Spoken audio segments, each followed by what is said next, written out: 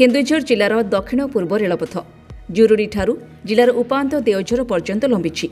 ଏହି ରେଳ ଧାରଣାର ଦୁଇ ପାର୍ଶ୍ୱରେ ବହୁ ବର୍ଷରୁ ଆଦିବାସୀମାନେ ଜନବସତି ସ୍ଥାପନ କରି ରହିଆସୁଛନ୍ତି। ହେଲେ ରେଳ ଧାରଣାରେ ଗୋଟିଏ ପାର୍ଶ୍ୱରୁ ଅନ୍ୟ ପାର୍ଶ୍ୱକୁ ଯିବା ପାଇଁ ଲେବଲ କ୍ରସିଂ ନାହିଁ ରାସ୍ତା ମଧ୍ୟ ନାହିଁ। ଗ୍ରାମାଞ୍ଚଳକୁ ଯିବା ପାଇଁ ରେଳ ଧାରଣା ବାଧକ ସାଜିଛି।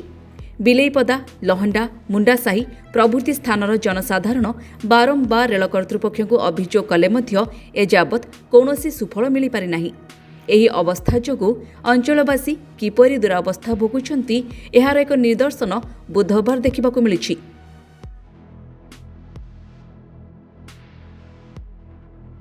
ଯୋଡ଼ାଠାରୁ ମାତ୍ର ତିନି କିଲୋମିଟର ଦୂରରେ ଅବସ୍ଥିତ ମୁଣ୍ଡା ସାହିର ଜୈନିକ ରୋଗୀ ବିଶୁ ମୁଣ୍ଡାଙ୍କୁ ଡାକ୍ତରଖାନା ନେବା ପାଇଁ ଆମ୍ବୁଲାନ୍ସ ମୁଣ୍ଡା ସାହିକୁ ଯାଇପାରିନଥିଲା ରେଳ ଧାରଣା ଉପରେ କୌଣସି କାରଣବଶତଃ ଏକ ମାଲବାହୀ ଟ୍ରେନ୍ ଠିଆ ହୋଇ ରହିଥିଲା।